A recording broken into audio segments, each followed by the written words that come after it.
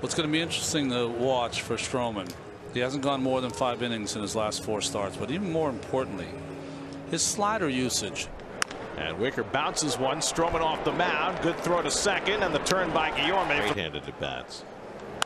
That's lifted out to right center field. Back goes Aquino at the wall, and it's out of here.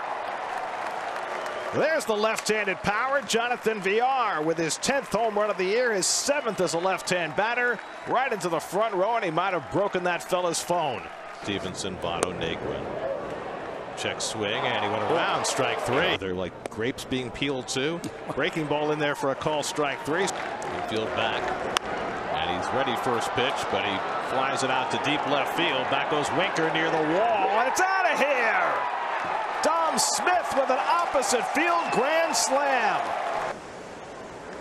And Luis lines that to right center field deep. Back goes Aquino, and it's out of here.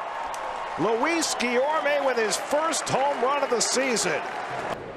And he's down on strikes. Castellanos has been so good. 2-2 coming. And he struck him out with the slider. That's what I got. Oh, okay.